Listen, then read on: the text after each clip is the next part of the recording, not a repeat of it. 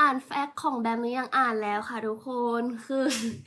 แบมก็เคยเล่าให้หนูฟังนะว่าแบบว่า ว่าแบบแฟกของแบมแบบไม่ใช่ไม่ไม่ไม่ว่าแบมอะเป็นอย่างนั้นแล้วหนูก็แบบ คือหนูยังจำได้วันที่วันที่หนูไปบอก วันที่หนูไปบอกสองคนนั้นอะไรอย่างนี้ว่าหนูจะแกรด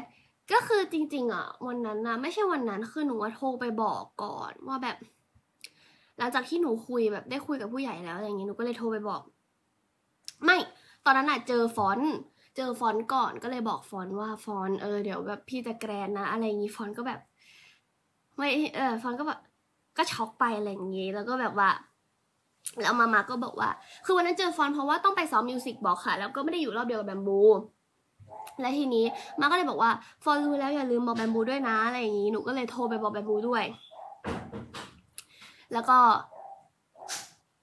แล้วก็บอกแบมบูทางโทรศัพท์ และแบมบูก็ช็อก แล้วทีนี้ก็เลยนัดเจอกัน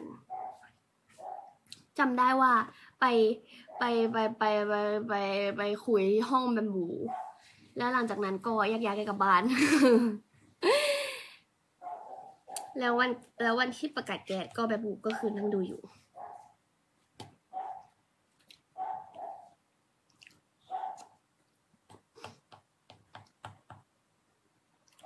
จะบอกว่า